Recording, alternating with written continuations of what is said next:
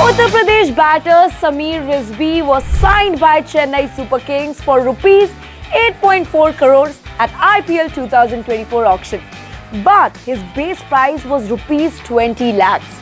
CSK and Gujarat Titans were engaged in a bidding war before Delhi Capitals joined in. Then Delhi pulled out at 7.6 crores when they decided to make stop feeling. But CSK had the last laugh. But I still wonder who exactly is Sameer Rizvi?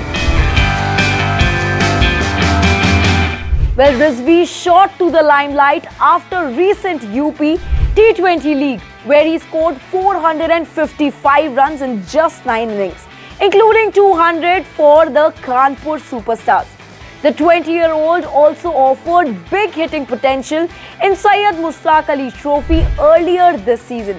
He smashed 18 sixes, uh, hitting one of every 11 ball that he faced.